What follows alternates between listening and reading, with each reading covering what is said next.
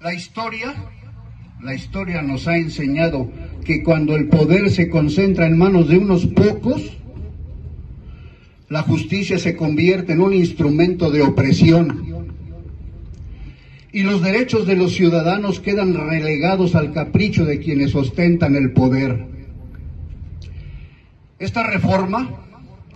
que bajo el velo de una supuesta modernización del Poder Judicial busca centralizar el poder, pone en riesgo no solo la independencia de los jueces, sino también el bienestar de nuestra sociedad en su conjunto.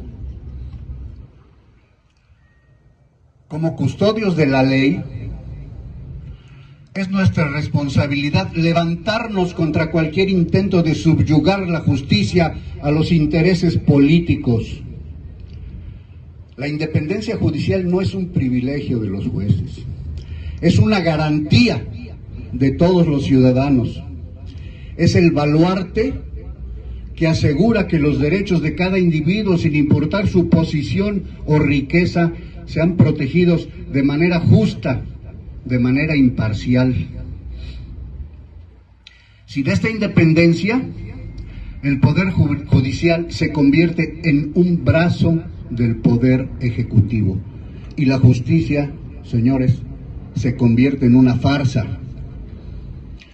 Hoy venimos a recordarles a aquellos que usan